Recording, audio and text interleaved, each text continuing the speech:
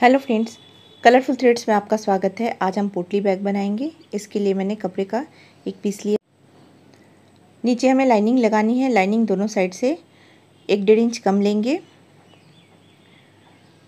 एक किनारे से सिलाई करेंगे। अब दूसरे साइड भी हमें कपड़े के साथ लाइनिंग को सिल लेना है। अब इसे सीधा कर लेंगे।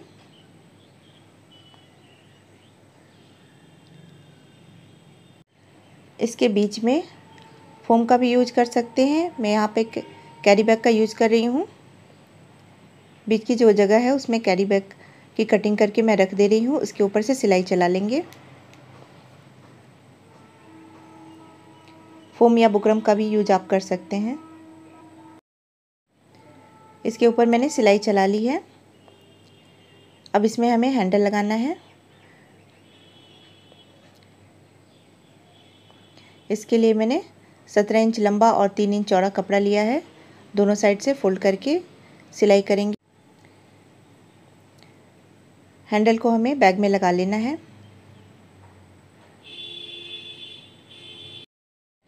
बैग के हैंडल को मैंने दो इंच नीचे लगाया है। एक लाइन ड्रॉ कर ली है। इसी लाइन पर हमें एक स्ट्रिप लगानी है डोरी डालने के लिए। स्ट्रिप की चौड़ाई दो इंच है। दोनों किनारों से पहले फोल्ड करके सिलाई कर लेंगे। उसके बाद जो लंबाई में दोनों साइड से फोल्ड करते हुए इसके ऊपर रखकर सिलाई कर लेंगे। ये देखिए, डोरी डालने के लिए मैंने स्ट्रिप लगा ली है दोनों साइड। अब दोनों किनारों को हमें सिल लेना है। दोनों साइड सिलाई करने के बाद मैंने एक बॉक्स बना लिया है, डेढ़ डेढ़ इंच का 1.5 इंच का। सिलाई वाला जो मार्जिन है, उसे छोड़ते हुए हमें बॉक्स बनाना है। कटिंग कर लेंगे। अब दोनों को मिलाते हुए हमें सिलाई कर लेना है। बैक का बॉटम बन जाएगा।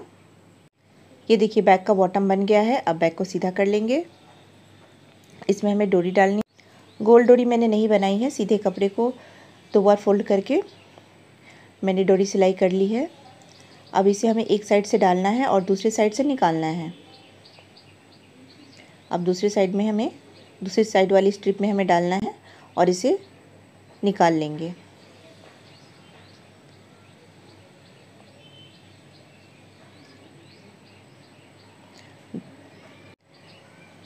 दूसरी डोरी को हमें अपोजिट साइड से डालनी है और जहाँ से हम डोरी को डाल रहे हैं, उसके बगल वाली स्ट्रिप से हम डोरी को वापस निकालेंगे।